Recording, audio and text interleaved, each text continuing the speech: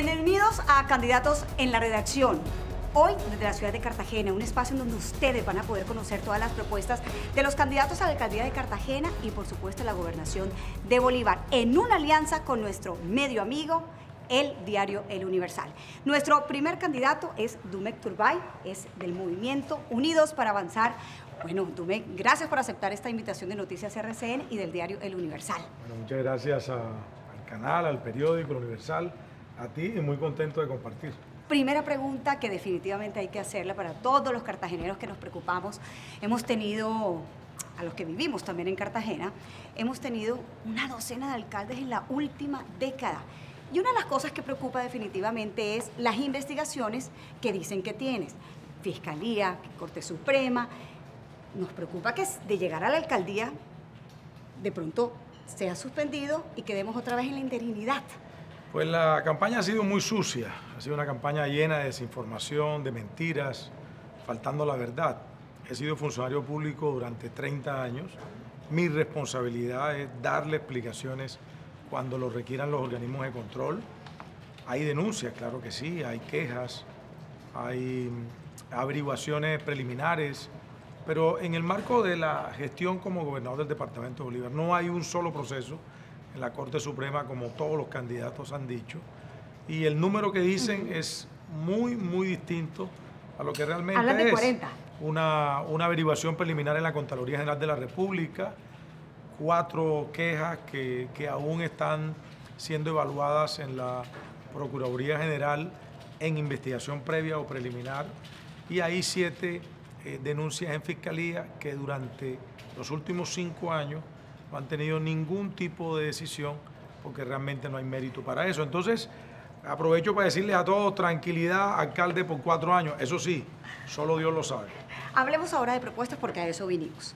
Esta protección costera que en este momento los recursos, nada, está la obra eh, parada. Pero adicional quieres hacer un proyecto muy ambicioso que le cambiaría la cara a Cartagena y es el Malecón del Mar. Pero una cosa El malecón más bello del mundo. Ah, bueno, sí. Está bien, después del de Barranquilla, no, mentira. Pero una cosa depende de la otra. Bueno, sí, así ¿De dónde va a ser el salir el dinero? Bueno, eh, decirles primero, Cartagena en los últimos años se estancó, Cartagena dejó de pensar en grande y una obra de la envergadura de la protección costera se ha convertido en un problema, en un dolor de cabeza. Es una obra casi siniestrada, es una obra del concurso nacional, del gobierno nacional y también con recursos de la alcaldía mayor, pero hoy no hay el tiempo eh, cumplido de la obra como tal, hoy hay angustia de los que viven de la playa, es que ahí hay carperos, hay, hay, hay personas que venden el cóctel, hay, hay personas que que derivan su sustento diario de que la obra pueda estar terminada y la obra está atrasada en más de ocho meses. Por lo tanto, de ser alcalde, Dios mediante, prioridad terminar protección costera, sea con recursos de la nación o sea que el distrito tenga que colocarlos. Y una vez terminada la protección costera, nos vamos al gran malecón del mar, el malecón más bello del mundo. Queremos cambiar la historia y los cartageneros siempre han soñado con una obra que nos llene de orgullo y este malecón del mar te aseguro que será la impronta y el sello de nuestra ciudad de Cartagena. Si llegas a la alcaldía en cuatro años, hablaremos con obras ahí hechas. El Malecón del Mar, sí el, Protección costera lo resolvemos en los primeros seis ah, meses y paralelo a eso, porque es que el malecón inicia en Playa Azul en la Boquilla, cuando el malecón vaya a llegar a la entrada de Boca Grande o Castillo o Laguito, ya tenemos la posibilidad de que Protección Costera lo hemos resuelto. Se resuelve Protección Costera, paralelo se inicia Malecón del Mar y no se imaginan la belleza cómo va a quedar nuestra ciudad. En esta alianza de candidatos en la redacción con el diario amigo El Universal, Nicolás Pareja también en representación, se une a esta serie de preguntas para conocer las propuestas de los candidatos, Nicolás. Gracias, Jessica. Candidato, bienvenido. Gusto. Muchas gracias por acompañarnos. Eh, todos en Cartagena sabemos las diferencias y las difíciles relaciones, bueno, las relaciones insistentes que ha tenido con el alcalde actual y eh, el tema de él siempre con el tema de la corrupción.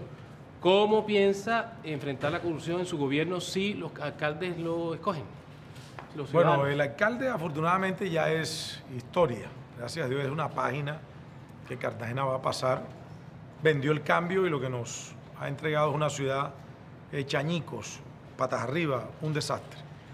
Y, bueno, eh, nosotros lo que hemos planteado es respetar los procesos, rescatar lo que haya que rescatar del gobierno actual y practicar una observancia precisa de la ley, una aplicación en exceso de lo que tiene planteado el reglamento. Nosotros somos abogados, entendemos, hemos gobernado y hoy no tengo ningún tipo de inconveniente. Es decir, si hacemos los procesos legales como tiene que ser, si ejecutamos un gobierno a la luz de la ley, no debemos tener ningún tipo de inconveniente. Ahora, hay prácticas de rendición de cuentas, de eh, gobierno en línea, de revisión y permanente información a la ciudadanía.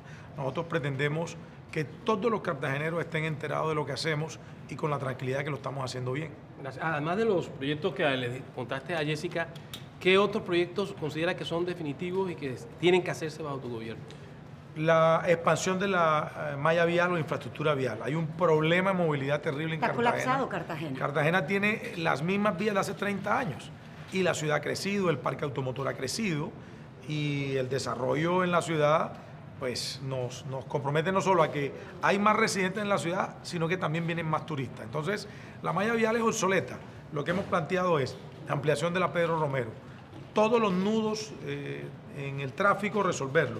La Carolina, la bomba, el amparo, eh, la posibilidad de que los cuatro vientos se incluya la ampliación de la, de la avenida Pedro Romero, la terminación de la perimetral y la construcción de la marginal de la Siena que, que saldría a zona norte, la doble calzada de la vía 90, la transversal del sur, que es una obra pedida hace muchos años, que arrancaría en Arroz Barato y terminaría en la bomba El Amparo, y la posibilidad real de poner a funcionar de una vez por todas el transporte acuático en la bahía. Eso no se puede seguir hablando, eso hay que concretar. Y hay unos ingredientes que nos, nos, nos afectan mucho en la movilidad, por ejemplo, la semaforización de Cartagena sigue siendo la semaforización del neolítico. Estamos en el arcaico en semaforización no hay inteligencia artificial para ayudarnos, no hay una semaforización inteligente. Realmente da pena lo que, lo que ofrece Cartagena a sus residentes y a los turistas que nos visitan frente al tema de semaforización y estoy seguro que, con ello eh, vamos a, a mejorar ostensiblemente la movilidad. ¿Qué hemos dicho, Nicolás? Hemos dicho, no es votar por Dumec, es votar por un modelo de gobierno. Muchos de los temas que nos angustian y nos incomodan van a requerir varios gobiernos lo que nos corresponde es entrarle a lo urgente, a lo prioritario, pero poder planear la ciudad. Entonces, frente a eso, creo que, más allá de lo estético y lo lindo para la ciudad, hay un tema trascendental, es que la ciudad se pueda mover. Hoy somos una ciudad inmóvil.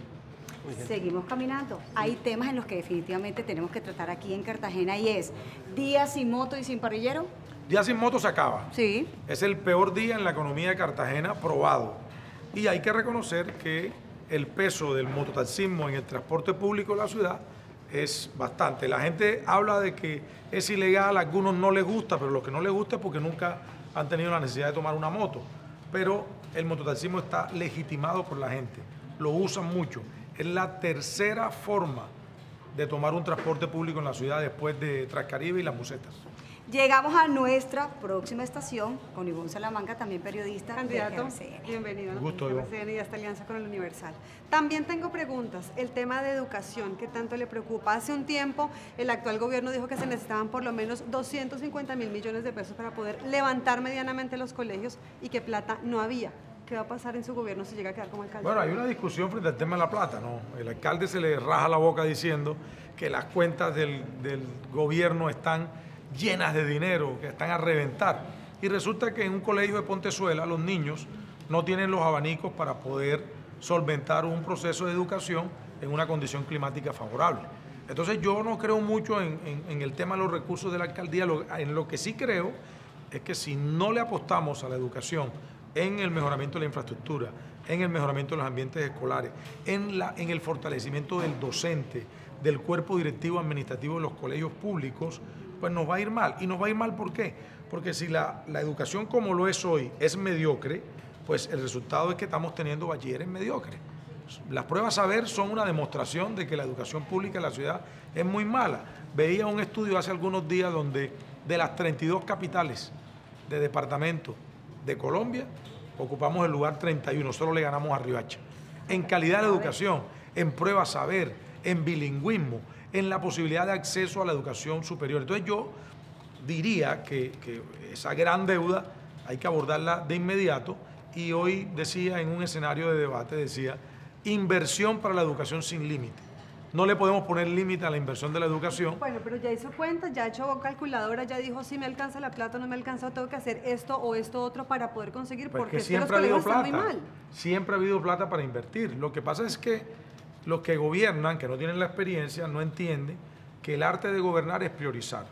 Y la prioridad de nosotros es seguridad para la gente, movilidad y educación. Esos son los tres pilares y en donde vamos a, a ejercer el mayor esfuerzo, el fuego en el corazón para gobernar y donde necesariamente tenemos que invertir más recursos. Y los profesores, ¿hay algo de inversión también para ellos? Formación, capacitación, transferencia de actualización. conocimiento, intercambio, eh, visita a los escenarios de educación más importantes de Colombia y del mundo. Nuestros docentes reclaman a gritos eso. Y, y- y si el docente está eh, preparado solo en elementos básicos de, de transferencia de conocimiento y de pedagogía para la educación, pues tienes que prepararlo y fortalecerlo. Eso no ha pasado en la ciudad de Cartagena.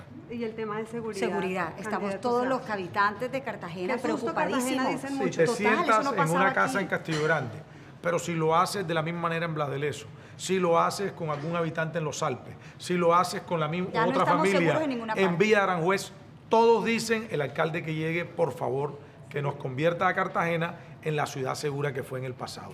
Cartagena está absolutamente llena de miedo y de terror. La ciudad tiene los peores índices de, seguridad de la historia.